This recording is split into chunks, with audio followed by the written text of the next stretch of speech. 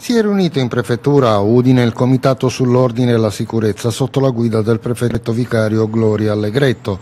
Dopo l'accoltellamento in via Roma, Borgo Stazione, la maxi rissa tra cittadini pakistani scoppiata giovedì pomeriggio in via Vittorio Veneto nel centro di Udine, l'incontro è stato l'occasione per fare il punto sulla sicurezza in città e in provincia.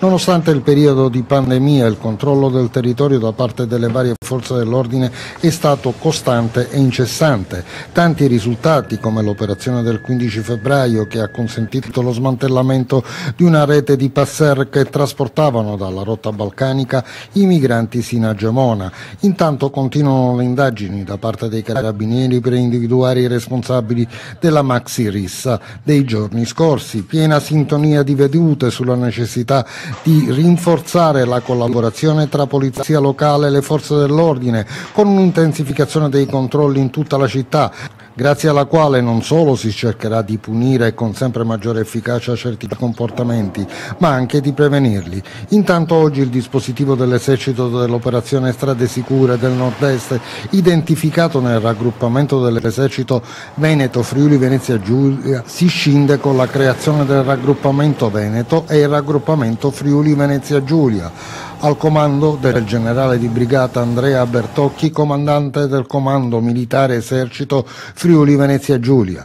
Il generale Bertocchi avrà il comando di circa 400 militari impegnati in regione nell'operazione Strade Sicuri, militari per lo più impegnati nelle fasce confinarie della regione. In provincia di Udine sono 150 i militari dislocati lungo i 340 km di confine